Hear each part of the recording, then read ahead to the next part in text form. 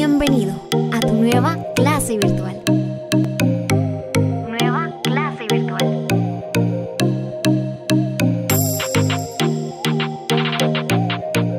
Bienvenidos, el día de hoy vamos a tener una clase muy bonita. Como ya les había comentado, a quienes tengan su CNB a la mano, por favor, sáquenlo. Tenemos una serie de factores y de cuestiones, las cuales vamos a ir viendo allí en el CNB. Tengo entendido que algunas de ustedes dejaron su CNB en la clase, entonces pueden a partir del día de mañana, incluso yo les comenté desde la semana pasada que podían llegar al colegio y asimismo pues recoger su CNB para que podamos recibir la clase de una mejor manera. Y también porque ya se van a ir incorporando tareas, muy bien, gracias Daniela, porque ya se van a ir incorporando clases, tareas que van a tener que ser extraídas del CNB. Entonces, ¿para qué nos va a servir? Número uno, para poder eh, realizar las tareas y número dos, para entender mejor a los temas. Entonces, voy a proceder a compartirles mi pantalla. Y ahorita ya se viene una parte estándar en la que vamos a aprender eh, características del CNB, cómo es de que se introdujo a nuestra educación, cuándo lo trajeron, por qué, para qué, cómo, cuándo y todo lo que necesitemos saber. en parte de la introducción al CNB, quiero eh, comentarles las medidas que tenemos para nuestra clase el día de hoy. Entonces, eh, para mis clases en línea me conecto puntual porque siempre pedimos puntualidad para que el tiempo nos, nos abarque tanto lo que es la dificultad, sino podamos llenar el tiempo necesario, terminar antes y si es posible, pues también dialogar algunas otras cosas. Eh, estas recomendaciones que les pongo aquí, por ejemplo, mantengo mi espacio limpio y ordenado, porque a veces eh, no encontramos un lápiz, un, un lapicero, un cuaderno. Para mis clases en línea mantengo el micrófono apagado. Levanto la mano para pedir mi turno para poder participar. Para mis clases en línea, presto, eh, me presento aseado y muy bien peinado. Para mis clases en línea también asigno un lugar tranquilo y cómodo. ¿Por qué tranquilo y cómodo? A veces estamos de allá para acá, entonces no entendemos la clase. Para mis clases en línea mantengo mis libros a la mano, lo que decíamos con el CNB, ¿verdad? Para mis clases en línea también valoro y respeto el trabajo de mis docentes. Y bien, viendo las medidas de nuestra clase, vamos a tener lo que es el CNB. ¿Qué significa? estas son las siglas solamente. Ya descifradas las siglas significa Currículum Nacional Base. Específicamente nosotros vamos a enfocar en el Currículum Nacional Base, en el CNB del nivel de educación preprimaria voy a pedirles que tengan ahí sus cuadernos de apuntes, porque hay tareas que lo requieren más. Es cierto, esto está en el CNB, pero yo necesito que ustedes puedan tener ahí su resaltador. Miren, el CNB, cuando es propio, podemos ahí resaltar, no les digo que lo destruyan, pero podemos resaltar como es suyo, es propio, entonces podemos resaltarlo, podemos ahí hacer algunas anotaciones con lápiz eh, en un ladito y todo lo demás que nosotros queramos hacer. Tenemos el currículum nacional base, que es, es un instrumento de qué? De normas, que establece las capacidades, competencias, conceptos, destrezas, habilidades y actitudes que debe lograr todo sujeto del sistema educativo nacional en los diferentes niveles, ciclos o modalidades de educación. Por ejemplo, niveles de educación son todos aquellos que tenemos en Guatemala, desde el nivel inicial hasta el nivel universitario. De las modalidades, las modalidades tenemos eh, modalidades escolarizadas y no escolarizadas. Entonces, el CNB fue traído para qué? Para poder utilizarlo en todos los niveles de educación. Inicios del CNB en Guatemala. El Currículum Nacional Base, CNB, del Ministerio de Educación en Guatemala, MINEDUC, es un esfuerzo monumental que ha pasado una década. ¿Y qué significa una década? Diez años. Que tiene ya hace diez años que lo trajeron o lo implementaron a la educación. Es decir, Antes quizás sí se enseñaba todo lo que está en el CNB, pero era un aprendizaje o una enseñanza desubicada. Es decir, no estábamos comprendidos o organizados por bloques. Al contrario, se tenía una educación no meramente profunda porque eran contenidos pasajeros. Ahora, con el CNB, la reforma educativa, que esto, la reforma educativa vino a darse a causa del CNB, entonces tenemos también de inicios eh, en la elaboración del currículum basado en competencias. ¿Por qué en competencias? Porque siempre cuando tenemos una competencia y tenemos eh, un objetivo, nosotros nos vamos a trazar esa competencia. Y al final de haber trazado, haber realizado la actividad, nos vamos a dar cuenta si en realidad la cumplimos, llegamos a la mitad o llegamos al final o no la cumplimos. Entonces, aquí tuvo un desarrollo en 2004, que ya vinieron también varios lineamientos, mallas curriculares. Y aquí viene la primera investigación que usted me va a realizar. ¿Qué es una malla curricular? ¿Para qué nos sirve la malla curricular? Yo ya lo sé, yo tengo la malla curricular, pero lo que quiero eh, que implementar o lo que yo quiero lograr o lo que yo quiero dejar en usted es que usted pueda también interesarse y vayamos realizando, eh, relacionando, perdón, qué es el CNB con una malla curricular o qué tiene que ver una malla curricular con el CNB. Entonces, en todos los niveles de educación van a haber CNB. ¿Y qué significa? que ya la educación está en un sentido más organizado, más avanzado, ya estructurado por competencias, por contenidos y por indicadores de logro.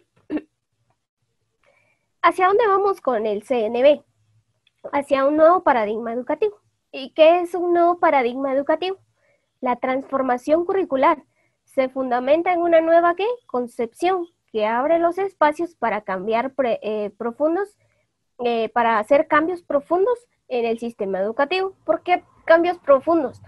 Porque si nosotros nos podemos saber desde el sentido, ya vamos a llegar a ese punto, que es una competencia, que es un indicador de logro, que es un contenido, y aparte de eso, ¿por qué se profundiza entonces en el sistema educativo? Porque ya nosotros estamos viendo desde una realidad competitiva. Este nuevo paradigma fortalece el aprendizaje, el sentido participativo y el ejercicio de la ciudadanía. ¿Por qué el ejercicio participativo? Estamos logrando nosotros entonces que a partir de un nuevo paradigma educativo o a través de la introducción del CNB o las mallas curriculares, nosotros vayamos organizando mejor lo que le vayamos a enseñar a cada uno de los estudiantes. Aquí tenemos esto y esta parte está incluida en el CNB. A partir de esta diapositiva en adelante, esto lo podemos encontrar en el CNB ahorita vamos a tener una lectura muy larga. Entonces, el enfoque del nuevo currículum. ¿Qué es el enfoque? Por ejemplo, el currículum se centra en la persona humana. ¿En quién se centra? En la persona humana. No se está centrando en, ¿qué le digo? En, sí se centra en lo que es el aprendizaje significativo, lo que es la creatividad, el desarrollo, las características, pero su principal eh, centro o su mayor objetivo es el ser humano. ¿Como desarrollo de qué? Como desarrollo personal, desarrollo social, eh, de las características culturales y de los procesos participativos que van a favorecer qué? La convivencia armónica. No solamente hace énfasis en, en la persona humana, sino también en la valoración de la identidad cultural. ¿Por qué defiende la valoración de la identidad cultural? En el CN vemos, vamos a encontrar muchas palabras como multiétnico, multilingüe, multicultural, pluricultural. ¿Por qué? Porque se basa en todos. También vamos a encontrar la palabra desconcentrado y descentralizado.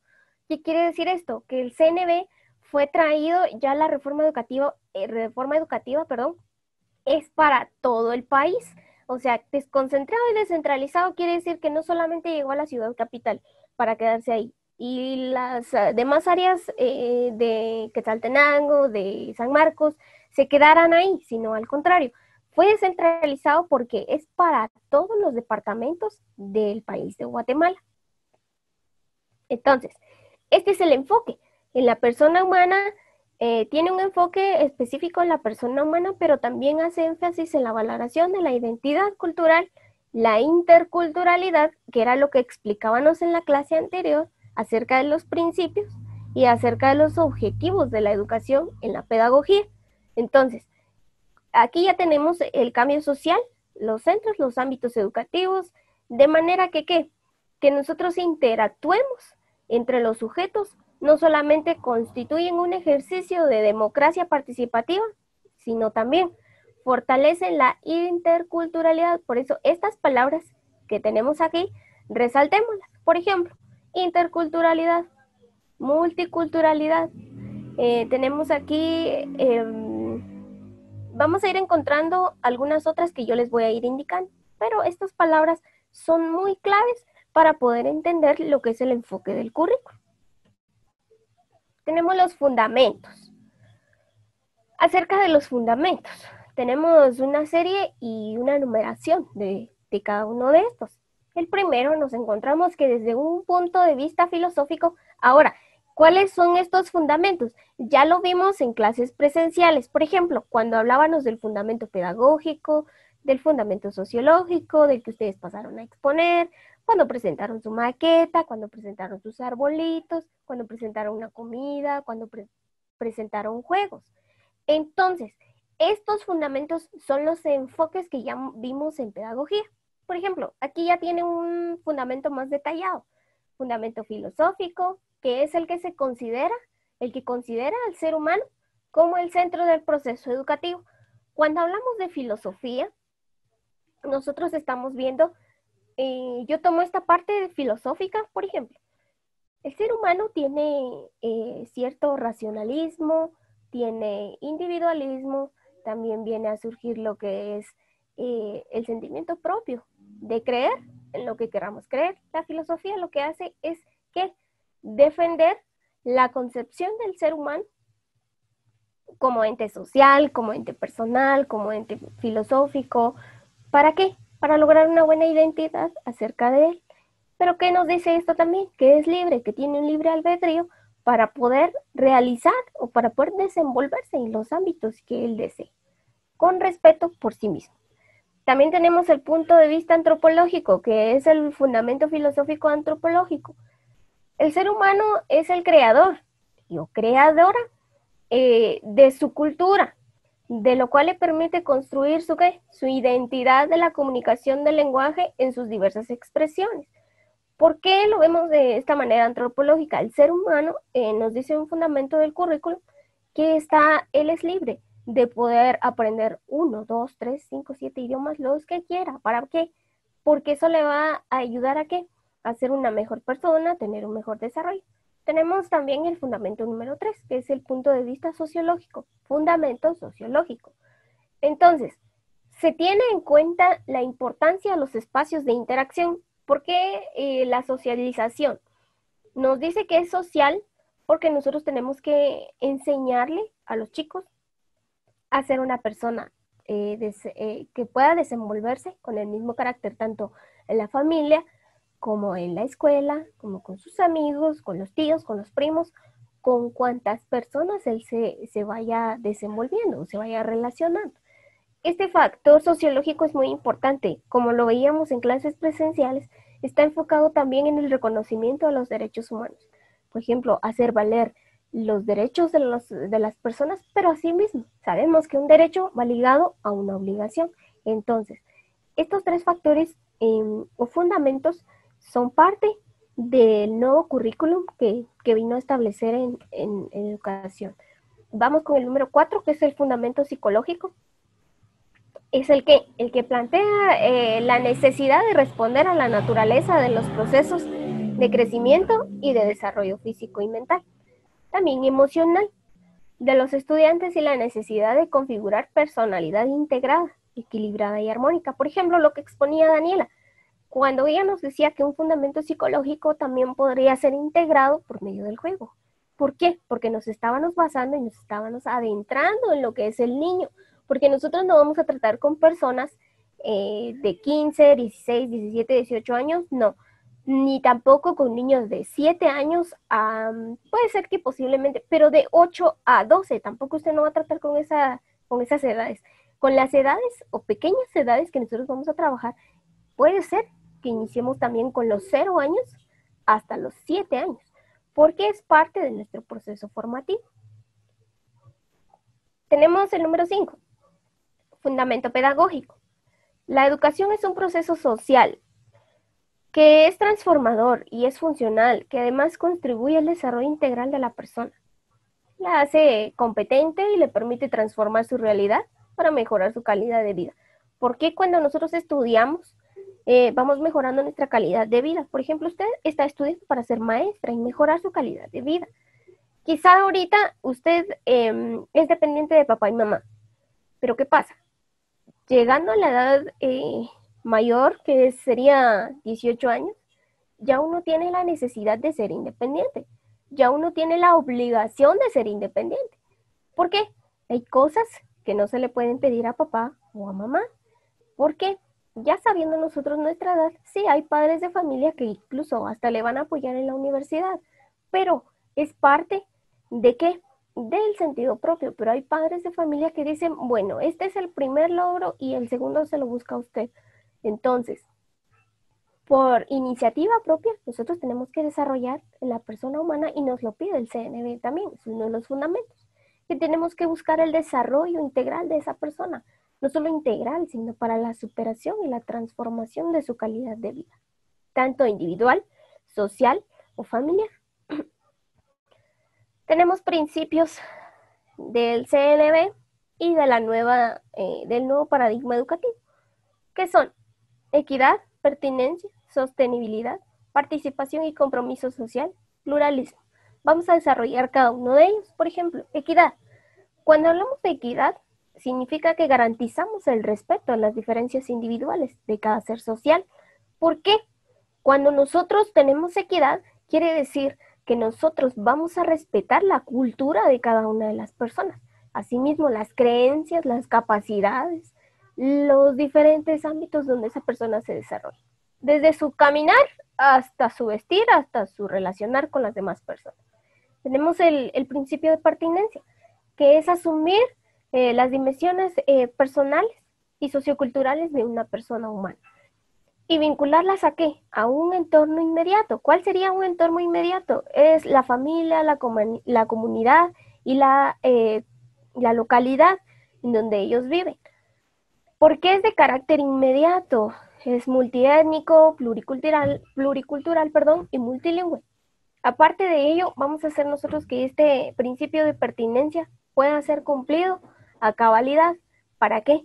Para que esa persona pueda desarrollar sus habilidades aún con más intensidad. No porque llegue un niño del área rural y un niño del área urbana, ustedes vayan a decir, bueno, eh, tenemos aquí que solo Pablito haga las cosas porque él habla español y, y porque Juanito no, no, al contrario, tenemos un principio de pertinencia que defiende que cada una de la personalidad de las personas con, las quienes, con quienes tratamos. Tenemos el principio de sostenibilidad, eh, que es promover el desarrollo eh, permanente de los conocimientos actitudes, valores, destrezas para la transformación de la realidad y así lograr el equilibrio del ser humano. Porque nosotros tenemos que equilibrar desde pequeños a los chicos? Porque cuando no hay un equilibrio o no hay una sostenibilidad o no se hace valer este principio de la sostenibilidad, quiere decir que nosotros no estamos haciendo o llevando a una transformación de realidad. Es decir, que nosotros tenemos que ver desde la naturaleza o la concepción o desde el inicio de lo que el niño haya eh, o tenga según sus avances familiares, sociales, como los que hablamos aquí de los principios. Pero, ¿qué va a pasar con este principio? Nosotros tenemos que hacer defender cada una de las características del ser humano y saber equilibrarlas también, porque no nos vamos a inclinar solo por una cosa. Tenemos que equilibrar todo. Tenemos el, el siguiente principio que es la participación y el compromiso social. ¿Por qué cuando hablamos del compromiso social nosotros nos sentimos quizá, para mí esta palabra compromiso social no es, eh, que le digo, es una carga, sino al contrario, es un compromiso y un deseo de poder que yo involucrarme en sociedad. Además dice que es estimular como la acción y el proceso de interlocución permanente entre todos los sujetos curriculares para impulsar la participación y el intercambio de ideas, aspiraciones y propuestas que encuentre el compromiso social. ¿Por qué son aspiraciones y propuestas? Por ejemplo, en este principio nosotros tenemos que ver eh, la participación. Por ejemplo, cuando eh, nos llaman comúnmente, eh, nosotros vamos a dar una práctica, una práctica, una observación a una escuelita y bueno, llegamos por eso el 15 de septiembre y dicen, bueno, va a haber una mañana cívica en el parque central de la comunidad y tienen que ir todos los chicos. ¿Por qué entonces nosotros vemos este principio desarrollado aquí? Porque estamos comprometidos con la sociedad y estamos comprometidos también a participar. Entonces, este, estos principios son algo que nos van a ayudar a involucrar a los niños y no solamente a ellos, sino también nosotros saber cómo involucrarnos en la sociedad. También tenemos el principio del pluralismo, que es facilitar la existencia de una situación eh, plural diversa. En este sentido, debe entenderse como el conjunto de valores y actitudes eh, positivas, no negativas, en las cuales a distintas formas del pensamiento y manifestaciones de la cultura y las sociedades. ¿Por qué tenemos pluralismo? Cuando hablamos en plural quiere decir que vamos a generalizar. Si hablamos en singular quiere decir que solamente soy yo. Cuando yo pluralizo quiere decir que todos. Entonces todos, aquí todos tenemos que hacer manifestaciones de las culturas y de las sociedades, pero también respetarlas. Aquí en estos principios más nos basamos en lo que es el respeto hacia la persona humana y el desarrollo de sí mismo. Tenemos también las políticas. Dentro de las políticas encontramos varias. Esas también las tienen en el CNB. Que tenemos el fortalecimiento de los valores de respeto, responsabilidad, solidaridad y honestidad, que prácticamente aquí son valores. Y es una creación de culturas en la cual vamos a ir nosotros construyendo la personalidad humana y asimismo desarrollando la construcción eh, de la ciudadanía. Tenemos el, la siguiente política, que es el impulso al desarrollo de cada pueblo y comunidad.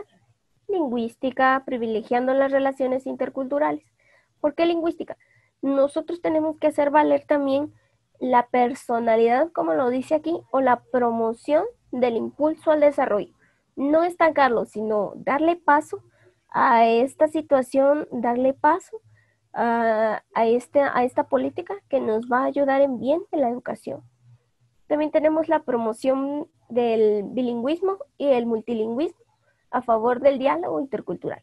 ¿Por qué la promoción? Cuando hablamos de promocionar, quiere decir que yo voy a eh, desarrollar, voy a implementar, voy a contribuir, voy a ayudar para que esto se dé. También tenemos el fortalecimiento de la igualdad de oportunidades de las personas de los pueblos. Cuando hablamos de las oportunidades, quizás no muchos, no muchas personas tengan las mismas posibilidades que nosotros. Es decir, si usted va a una aldea, ¿de qué le digo? No vamos tan lejos. Si hablamos de una aldea de, nuestros alrededores, por ejemplo, la parte del altiplano, esos niños o esas personas no tienen todos el acceso a Internet. Entonces, quiere decir que nosotros que vamos ahí, ahí sí que a fomentar la igualdad. Si ellos no tienen acceso a Internet, nosotros tenemos que buscar la manera cómo poder desarrollar la igualdad para que todos, o estrategias para que ellos puedan ser em, beneficiados a través de las oportunidades que nosotros y ellos tengan. Quizá nosotros sí contamos con un teléfono inteligente, pero ellos no. Y nosotros queremos que ellos nos reciban mensajes de WhatsApp, pero ¿en dónde lo van a ver? Por ejemplo, ahorita les comento esta parte. Muchos de los niños están teniendo dificultades para ver en la transmisión que pasa el Ministerio de Educación, porque no tienen una tele, porque no tienen internet o porque allá no llega el cable. Es cierto, ese canal es gratuito, pero quizá ellos no tengan para ni, ni siquiera para una tele. Nos contaba una madre de familia que ella baja cada domingo al centro de la comunidad para poder observar una clase y los niños están tan desesperados que ellos dicen, mami, vamos a perder el año. Mire, son experiencias vivas que se están dando ahorita. Y nosotros entonces que tenemos los recursos y tenemos la posibilidad, se nos exige y se nos exige una y otra vez. Y debemos de aprender también a valorizar lo que nuestros padres nos dan. ¿Cuántos niños quisieran tener la oportunidad que usted tiene ahorita? Pero seguimos con la siguiente política. Tenemos también el énfasis en la formación para la productividad y la laboriosidad. ¿Por qué la productividad? Cuando hablamos de un sentido productivo y laborioso, quiere decir que nosotros también tenemos que desarrollar. Señor, pero ¿cómo lo puedo hacer con un niño tan pequeño, de 6 años, 4? Podemos quizá, ahorita se implementaron lo que son los huertos escolares. A los niños les emociona poder sembrar una semillita, poder sembrar algo y asimismo ver el crecimiento y el fruto que va a dar eso. Entonces, es muy importante hacer cumplir esta política también. Tenemos el impulso al desarrollo de la ciencia y la tecnología. También es parte de nosotros hacer ver que este desarrollo vaya, nosotros vayamos contribuyendo al desarrollo. Si nos toca pues hacer una práctica o estar en una práctica en un lugar del área urbana, pues ahí hay mucha tecnología. Y cómo no, entonces nosotros poner en práctica esta política y hacer que sea aún con mayor intensidad o con mayor desarrollo el uso de la tecnología. Porque hay niños que no saben ni, ni siquiera qué es una computadora. Yo les digo, no vamos lejos, tenemos experiencias donde un niño vive quizá en el área rural o el área urbana que también no sabe qué es una computadora, no sabe ni qué es un botón de encendido. Pasa, llega a. Tuve la oportunidad de dar una práctica con unas señoritas estudiantes del Magisterio Parvulario también el año pasado. Fue una práctica simple de tres meses, pero eh, las señoritas a la hora de llegar al área de computación, y mire, ya estaban en cuarto Magisterio Parvulario, no sabían ni qué era una computadora, ni en dónde encenderla. ¿Cómo es posible que no sepamos cómo encender una computadora de escritorio? Primero la batería, pues el CPU y de último el monitor. Son cosas tan pequeñas que se centra aquí el CNB y nos dice que son políticas que tenemos que desarrollar, contribuir y que mejor si lo hacemos desde el nivel inicial. También tenemos el énfasis en la calidad educativa. ¿Por qué hablamos de calidad educativa? Porque es un proceso doble vía. Cuando hablamos de calidad quiere decir que yo voy a brindar una educación que excelente, una educación que va a ser quizá incomparable a lo que los demás están haciendo. Y la calidad surge de sí mismo, de uno propio. Porque el ministerio no le va, de educación no, les, no le va a estar a usted diciendo cada día, recuérdese la calidad educativa, recuérdese de la calidad educativa, no, sino es una iniciativa la cual usted debe de desarrollar y de tener para poder enseñar día tras día. También tenemos el establecimiento de, las, de la caracterización de la descentralización curricular. Cuando hablamos de centralización curricular, estamos hablando que entonces nosotros vamos a llevar la, esta transformación curricular a todos los lugares de Guatemala. Es decir, aldeas, comunidades, em, ciudades. ¿Por qué? Departamentos. Porque nosotros tenemos que llevar esta transformación curricular tal como es, hacer cumplirla. Y también cada una de sus políticas. Tenemos atención a la población con necesidades educativas especiales. No, no me dejarán mentir que a donde quiera que vamos, eh, hay niños con capacidades diferentes, capacidades especiales a las de nosotros. Entonces, tenemos que hacer eh, que todas estas características puedan ser acopladas o puedan ser involucradas al desarrollo del niño sin discriminación alguna. Es decir, que hagamos una adecuación curricular para poder atender a esos chicos que quizá no tengan un bracito, que quizá tengan retraso mental, que quizá tenga síndrome de Down o yo qué sé. Entonces tenemos que cumplir cada una de estas políticas. Vamos con el siguiente que son los fines. De los fines tenemos el perfeccionamiento y desarrollo integral de la persona y de los pueblos del país. Tenemos también el conocimiento de la valoración y el desarrollo de las culturas del país del mundo. ¿Por qué las culturas del país del mundo? Quiero preguntar, Kimberly, ¿cuáles serán nuestras culturas? ¿O qué es una cultura? ¿O cuáles son las culturas de Guatemala? Eso lo estamos viendo en estudios socioeconómicos, si mal no estoy. Vemos parte de eso ahí. O quizás son temas de ciencias sociales que recibimos en el básico. Vamos a ver, Kimberly. Pues son todas las tradiciones que tiene el país. Ah, tradiciones. Vamos a ver, Daniela, ¿qué es una cultura? ¿Cuáles son las culturas de Guatemala?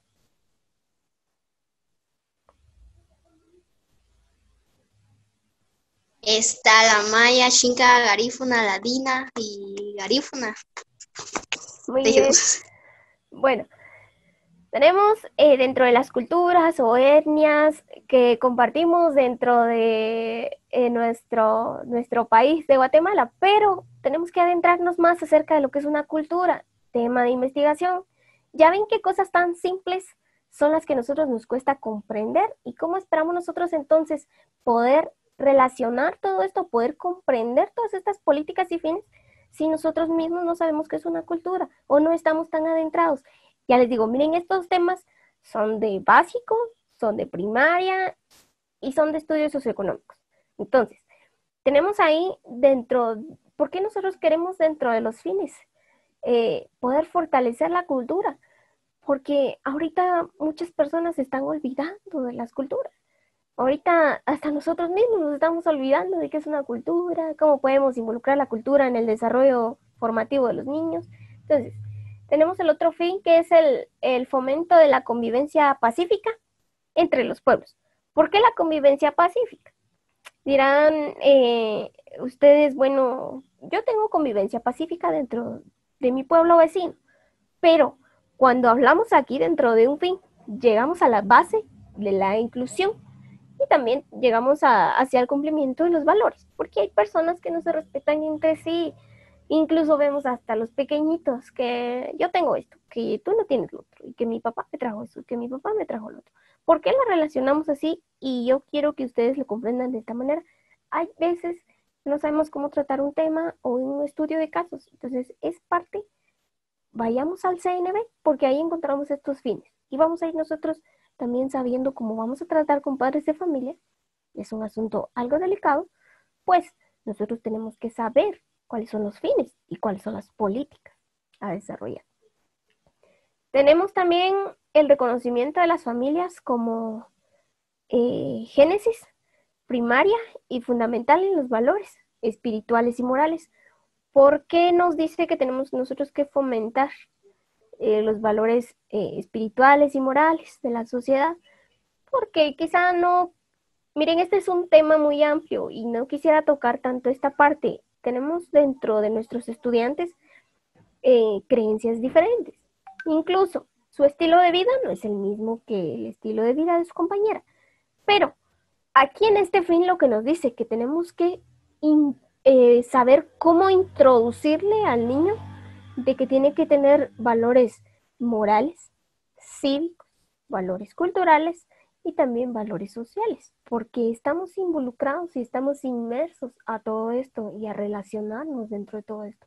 Si alguien no respeta la cultura del otro, entonces, es decir, si a mí me gusta el color azul, pero a Kimberly le gusta el amarillo, no quiere decir que yo le vaya a decir a Kimberly que a ella le tiene que gustar el, azul, el azul, el azul, porque a mí me gusta el azul. No, al contrario, yo tengo que respetarla. Si ella quiere pintar su escritorio de color amarillo y yo quiero pintar el mío de color azul, no la voy a obligar porque es su cultura, es su creencia y es un valor que tengo que hacer, respetar. Tenemos también la interiorización de los valores, el respeto, la responsabilidad, la solidaridad la, honestidad, entre otros. El desarrollo de las actitudes y comportamientos éticos para la interacción. ¿Por qué nos dice que nosotros mismos también tenemos que hacer ver todos, toda esta serie de valores?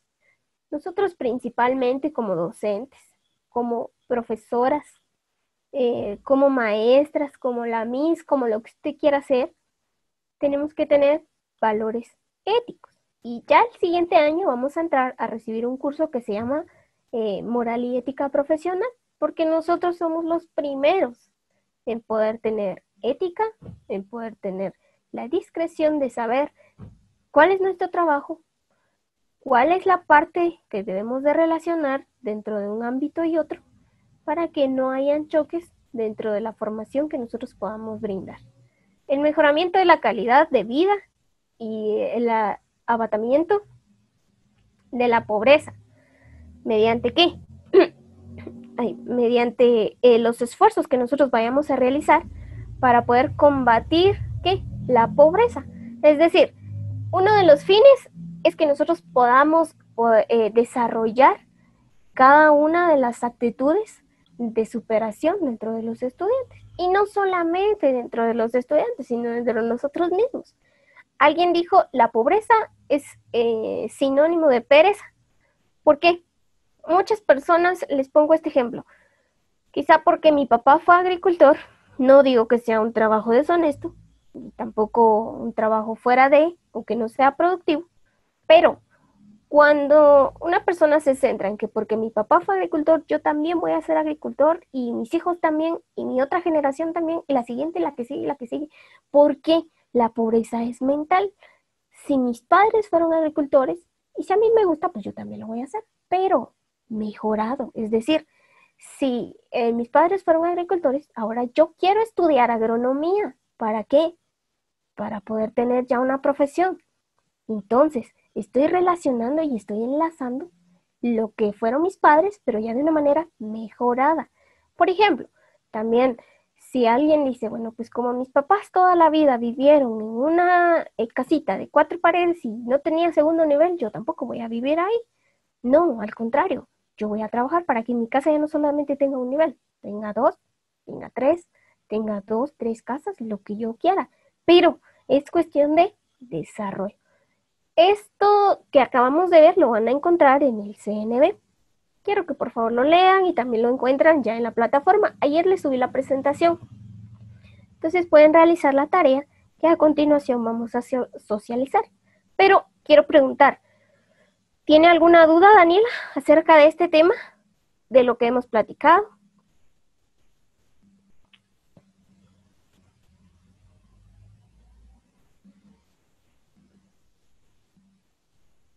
¿Tiene alguna duda? Muy bien. ¿Kimberly tiene alguna duda sobre el tema? ¿No? Muy bien. Entonces les voy a dar a conocer la tarea. Dice, realizar un texto paralelo sobre el tema de CNB. ¿Por qué no se vaya a colocar usted, ahí es que como la señora dijo CNB, es todo el CNB? No, solo es de lo que acabamos de platicar no se vaya a poner a copiar que esto, que lo otro, porque no hemos llegado a esa parte. Estamos conociendo el CNB por partes. Entonces, ¿qué es un texto paralelo? Usted lo debe hacer creativamente. Es decir, un texto paralelo es el que lleva imagen, lleva un poquito de descripción, pero asimismo la interpretación que usted le va a ir dando a cada tema. Realizarlo de forma creativa. ¿Por qué de forma creativa? Hay textos paralelos como los que me entregaban en clase. Por ejemplo, eh, me topé con un panda, eh, con un helado, y lo convertí en un texto paralelo. Es decir, en hojitas de formas, usted puede hacer una tele girada, usted puede hacer una caja rotativa, usted puede hacer un poito, lo que usted quiera. Poito con los huevitos, la gallina, los hijitos. Usted puede hacerlo de la mejor manera, creativamente. Puede realizarlo eh, con conitos de papel, con hojas o con cualquier recurso reciclado que tenga en casa. Puede utilizar todos los recursos. Mire, usted puede, si usted es creativo, usted puede utilizar hasta un cartón de huevos, una tapita, una piedra, un palito, lo que sea. Incluso vamos a tratar de ver que no, no estén tan expuestas a ir a una librería, porque lo que menos queremos ahorita es de que su vida esté expuesta a cualquier peligro. Entonces, Agregar lo siguiente. Número uno, carátula. Número dos, contenido. Y número tres, conclusión del tema en general, es decir, una conclusión por todo el tema. Pero no quiere decir que porque la seña dijo que era un texto paralelo y lleva contenido e imagen, yo voy a copiar literalmente lo que está en la página o literalmente lo que está en el CNB o en la presentación y yo lo le pego una imagen y se terminó, punto, se acabó el tema. No, tiene, cuando hablamos de texto paralelo, usted tiene que leer qué son los fines, qué es una política, para qué, cómo, cuándo, dónde, resumirlo, integrarlo, interpretar el tema. Y de esta forma no, van a, no, no le va a llevar ni siquiera una hoja completa. Puede utilizar de una a 10 líneas, de una a 15 líneas, pero son interpretaciones propias. No copie el Internet porque usted sabe que copiar el Internet no es bueno porque no desarrolla el pensamiento crítico. Entonces, ¿Estamos bien ahí con la tarea? ¿Alguna duda acerca de esto? ¿No? Kimberly, ¿alguna duda? Muy bien. Tenemos, tenemos aquí entonces este punto de el CNB, que hoy vimos solamente una parte. La siguiente semana o en la siguiente clase vamos a tener otra parte acerca de lo que es el CNB. Ya les digo, prepárense, no las quiero asustar. Quien dice planificar es difícil es porque se lo han enseñado de una manera difícil. Pero quiero decirles de que vamos a empezar ya a compartirles formatos en los cuales ustedes van a ir socializando y vamos a poder también darles la guía y darles una inducción, cómo es de que se planifica, para qué, cómo, qué maneras, qué tipos de planificación tenemos. Por favor, leamos, porque ahorita vamos a estar viendo la teoría del CNB. En el siguiente bloque vamos a aprender a planificar y vamos a aprender cómo es de que se da una clase. Quiero empaparlas y sumergirlas este año para que el siguiente ya no les cueste y vayamos directamente a lo que es la parte ya didácticamente porque les cuento, cuando estamos en quinto es un año totalmente formativo. Es la preparación para ya la graduación, se podría decir, porque en sexto ya estamos ejerciendo prácticamente. Entonces, quiero motivarlas y quiero decirles que esta carrera es muy bonita, es muy amplia y tenemos eh, tantos recursos para utilizar, los cuales podemos nosotros eh, ir involucrando. Ya se viene la parte también en que vamos a descansar, ya les digo, de todo lo que hemos estado viendo acerca de teoría, porque en cuarto eh, recibimos prácticamente lo que es teoría, pero ya vamos a ir entrando a la práctica. Entonces quiero motivarlas, quiero animarlas para que estén ahí siempre también en su casa. Por favor, si no tiene nada que hacer en la calle, no salga, porque usted no sabe si a la vuelta de su casa puede haber un caso eh, con COVID-19 que posiblemente pues ahorita no sabemos. Entonces, ha sido un gusto poderles saludar poder interactuar acerca de esta clase del CNB. Espero de que hayan aprendido lo necesario y cosas importantes. Ojo, en el texto paralelo van a ir al final también las eh, palabras desconocidas que les dejé. Eh, por ejemplo, un glosario que les decía las palabras de multiculturalidad, eh, multiétnico, multilingüe, desconcentración, descentralización. Entonces, por favor, agregar esas palabritas y otros tips que les di ahí para poder entender lo que es una cultura. Entonces, sin nada más que decirles, muchas gracias por el tiempo que se toman para entrar a su clase virtual. Espero de que Jennifer pueda estar en la siguiente clase. No sé qué pasó con ella, pero también es cuestión de poderle ayudar. Ustedes como compañeras, escríbanle, envíen mensajitos. Eh, Jennifer, tenemos clase, eh, tenemos tarea, para que no se le olvide. Por favor, las tareas retrasadas, antes de enviarlas, me envían un mensaje para que yo pueda rehabilitar la plataforma y la pueden enviar en el mismo en el mismo espacio donde yo coloco la tarea, porque a veces me la envían fuera. Ahorita ya no tienen disponible el área de compartir documentos, porque se me juntaban mucho los documentos y yo no sabía ni de qué eran. Entonces, les voy a volver a habilitar la tarea, porque posiblemente pues ustedes ya me dieron una, una explicación. Cuando no tenga tiempo de enviarme una tarea, o porque el internet le falló, esto otra situación, coméntenme porque yo también le vuelvo a, repetir, yo las entiendo, yo las comprendo y no todo el tiempo nos va a funcionar el Internet de la misma manera. Me pasó la semana pasada, entonces todos tenemos que entendernos y estoy para apoyarlas, estoy para servirles. Si tienen dudas de este o de otro curso que no sea mío, yo puedo apoyarlas, también estoy para servirles. Entonces, que Dios las bendiga. Ha sido un gusto poder saludarlas. Nos vemos en la siguiente clase y ya tienen tareas en la plataforma. Entonces, adiós. Pueden habilitar su micrófono ahí para decir adiós o bien, adiós Daniela. Adiós mamita. Gracias igualmente.